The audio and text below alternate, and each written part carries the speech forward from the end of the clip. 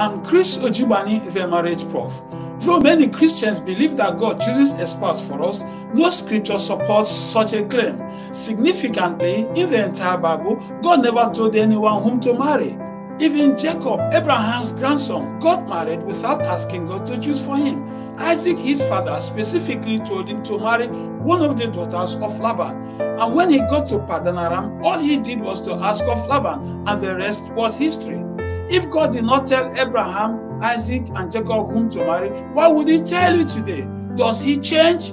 If we pray and give offerings like Jacob, then we should marry like him.